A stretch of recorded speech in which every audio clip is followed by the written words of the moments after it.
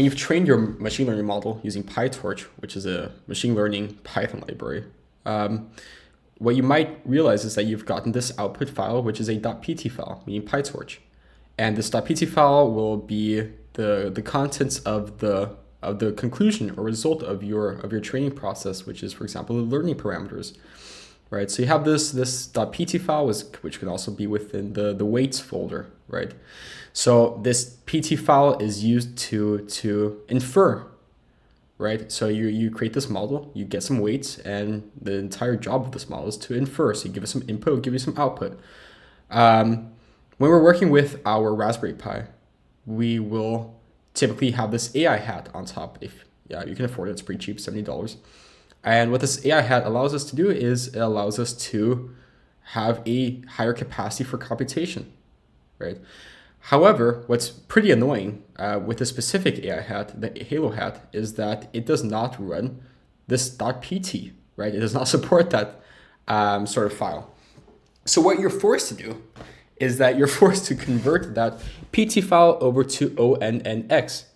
ONNX meaning Open Neural Network Exchange. Um, and in front of me, we have this uh, terminal open or Vim open within our terminal. Um, just showing a very easy script on how we can do this as it's it is supported within the PyTorch library. So you import the torch, import the torch.onnx, which is Open Neural Network Exchange.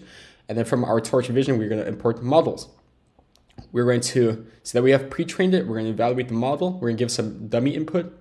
And this dummy input is telling our model what sort of input we've given uh, this model when we've trained it, right?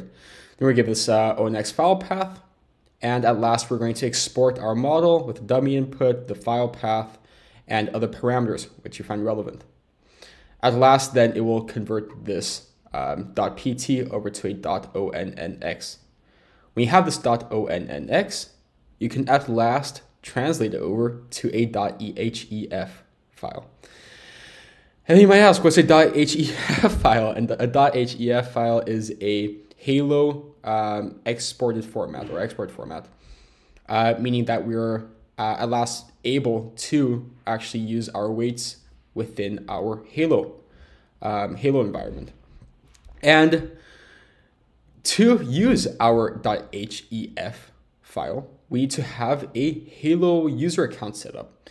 And they state that in the installation guides. Over here, you have this um, guide, which I'll also post in the description which gives you this example when you create a person face detection model. Right? They also you can also utilize these Docker images. If you don't know Docker, it's a way you containerize code. Pretty simple. They also have some instruction over here, um, as well as the NVIDIA Docker.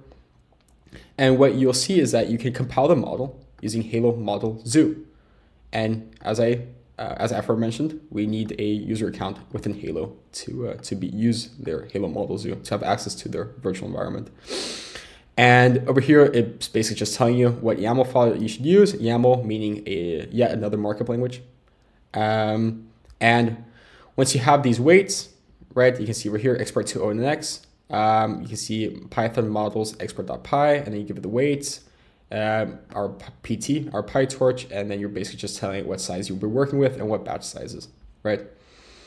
And at last, you can use our our Hailo compile to at last compile it with, uh, with the Hailo model zoo. When I have given the, the confirmation that my user has been created and I finally figure out how to do it concretely, then I will make sure to make a view on it.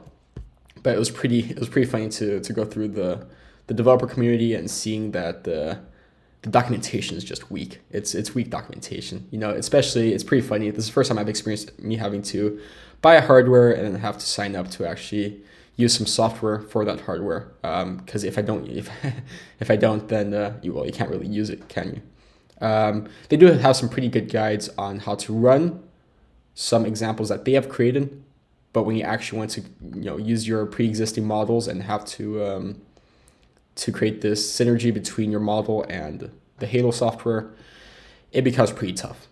Um, they also have this dedicated community.hailo.ai, which I'll also post in the description. But yeah, so that's just, um, I wish someone would clear that up for me as it was very hard to find this on YouTube. So when you have to, when we want to use Hailo For your model, you need to first convert it to ONNX and thereafter to .hef. And I'm sure, I'm hoping that they'll come with more uh, updated guides on how we can do this. But once I learn how to, I will make sure to, to create a very thorough step-by-step -step guide.